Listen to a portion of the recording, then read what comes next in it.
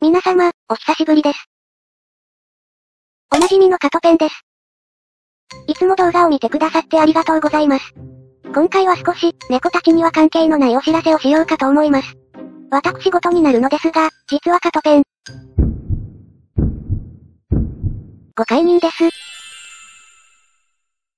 なかなかと授かることができずに不妊治療を受けていたのですが、この度、やっと授かることができました。今、ちょうど5ヶ月、やっと安定期に入ったのでご報告させていただきます。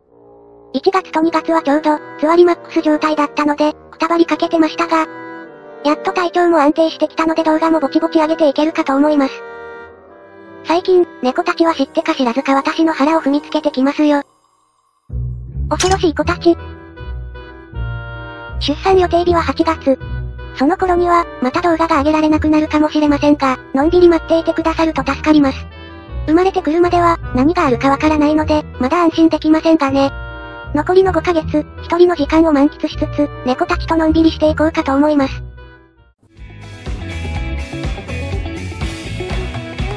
何も言わないで過ぎていく毎日当たり前のように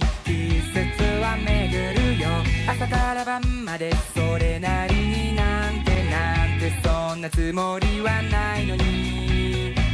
迫る予定になんとなく挨拶。おはようこんにちはこんばんはさようなら。ってさ全部そんなもんだなんて諦めたりない